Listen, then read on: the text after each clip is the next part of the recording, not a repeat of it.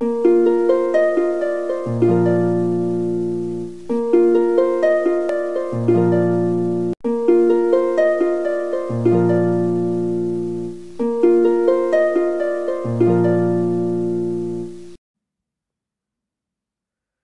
शिक्षक साथियों को नमस्कार। आप सभी का मेरे YouTube चैनल में एक बार फिर से स्वागत है। साथियों, आज की वीडियो कक्षा छः विषय गणित की शिक्षण योजना से संबंधित है, जिसका प्रकरण है कोटिपूरक कोण और संपूरक कोण। साथियों, आप सभी जानते हैं कि इस बार हमें शिक्षण कार्य पाठ योजना की जगह शिक्षण योजना के अनुसार करना होगा। इसी क्रम में मैं आपके सामने समय समय पर अलग अलग शिक्षण योजना लेकर आता रहता हूँ। साथियों, अगर आपको इस शिक्षण योजना में कोई कमी नज़र आती हो तो आप इसे परिवर्तन कर सकते हैं तथा मुझे कमेंट बॉक्स में भी बता सकते हैं। आपके सुझाव आमंत्रित हैं। साथियों, मैं आपको बताना चाहूँगा कि मैं बेसिक शिक्षा विभाग से संबंधित वीडियो बनाता हूँ, जिनको मैं अपने यूट्यूब चैनल पर तो अपलोड करता ही हूँ। साथ ही इन बनाई गई वीडियोस के लिंक मैं अपने व्हाट्सएप ग्रुप में भी शेयर करता हूँ।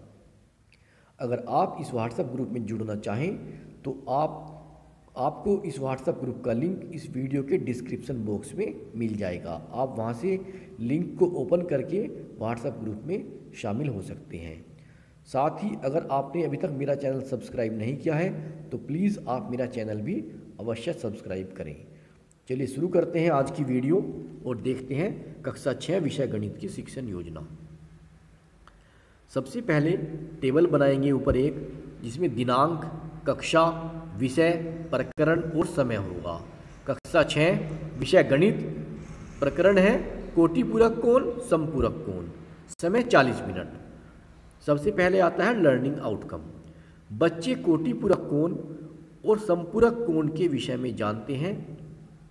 नंबर दो, सीखने सिखाने की सामग्री। पाठ्य पुस्तक ब्लैक बोर्ड और चौक।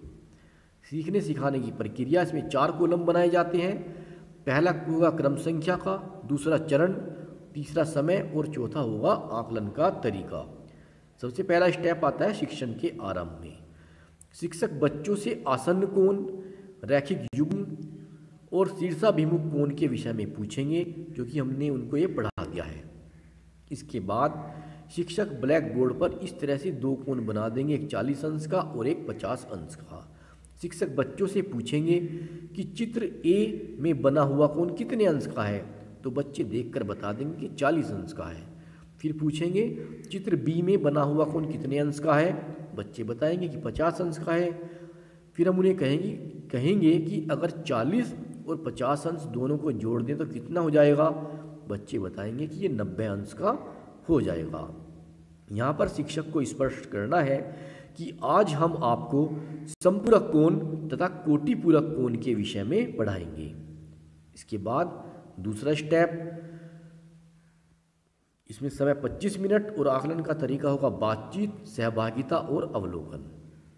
शिक्षक ब्लैक बोर्ड पर लिख देंगे कोटिपूरक कोण और इस तरह से एक चित्र बोर्ड पर बना देंगे। शिक्षक बच्चों को बताएँगे कि उपरोक्त आकृति में दो कोण बने हुए हैं। एक कोण तीस अंश का है और एक कोण साठ अंश का है। दोनों कोणों का योगफल नब्बे अंश का है। ऐसे कोणों को एक दूसरे के कोटिपूरक कोण कहते हैं। यदि दो कोणों का योगफल नब्बे अंश हो तो ऐसे कोणों को एक दूसरे का कोटिपूरक अथवा पूरक कोण कहते हैं। इन्हें अंग्रेज़ी में कॉम्प्लीमेंट्री एंगल्स भी कहते हैं। इसके बाद संपूरक कोण। इस तरह से चित्र बना लेंगे बोर्ड पर। एक सौ अंश का अस्सी अंश का और एक इस तरह से। इसके बाद बच्चों से कहेंगे कि आप बोर्ड पर बनी आकृतियों को देखिए। यदि दो कोणों का योगफल 180 अंश हो तो ऐसे कोणों को एक दूसरे का संपूरक कोण कहते हैं। जैसे 80 और 100 180 30 और 150 180 इस तरह से बच्चों को स्पष्ट करेंगे कि कोटिपूरक कोण और संपूरक कोणों का जो शीर्ष होता है वो उभयनिष्ठ होना आवश्यक नहीं है।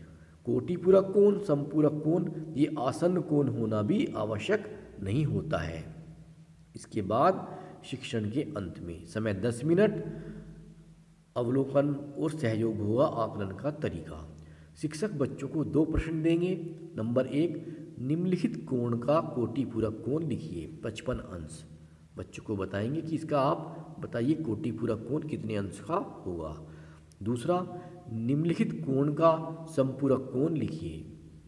बच्चों से कहेंगे कि बताओ सत्तर अंश का संपूरक कोण कितना होगा इसके बाद गृह कार्य।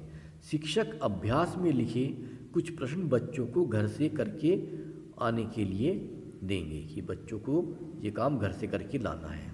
इसके बाद शिक्षक की आगामी योजना।